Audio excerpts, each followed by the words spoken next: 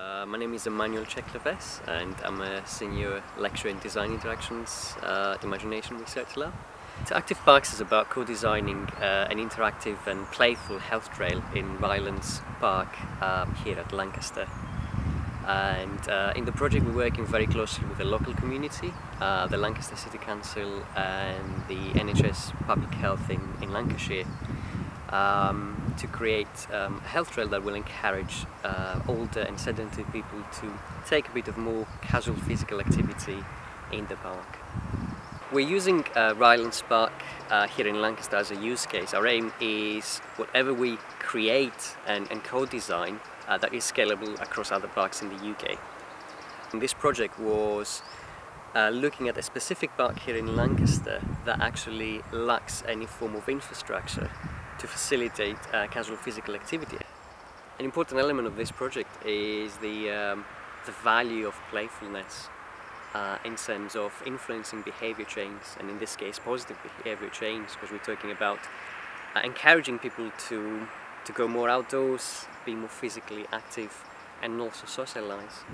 Playfulness is ageless no matter how old you are and it's something that we tend to lose um, at least from a, a, social practice perspective as we grow up.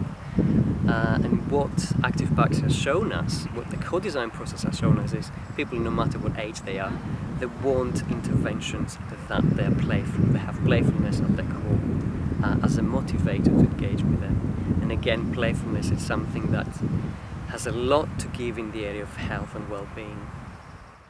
So we're in the Market Square in Lancaster testing the second version of our prototype for the Action Parks project. We had some great ideas on how to improve it further. People are very um, creative. Overall, the, uh, the feedback has been amazing on the possibilities. I thought it was really lovely and I thought it'd be great in a park or an open space, anywhere like that. Did you like the lights?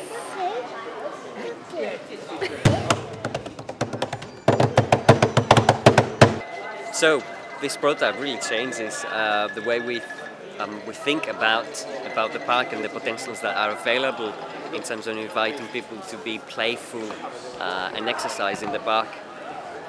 The most important element is to see what is the value of democratizing design, of involving the local community in the design and making of uh, a proof of concept prototype.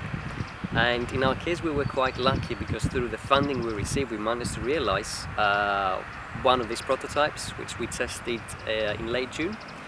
And in a space of three hours, we received um, over 150 visitors, and the feedback was overwhelming.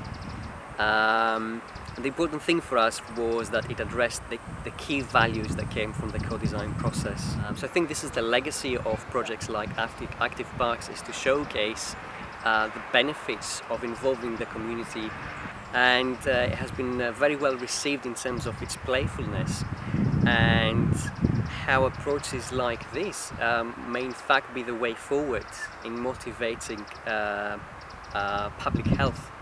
I think works very well because Catalyst is all about community-led um, innovation for social impact. Um, it fits within the philosophy of the Catalyst project. What we ended up with, uh, we would have not achieved if we hadn't gone with the co-design process. So the, the amount of novelty and innovation um, was uh, outstanding. And the important thing is, I believe we created something, we co-created something that people are a lot more likely to use because they have a stake in its design, its making and its use.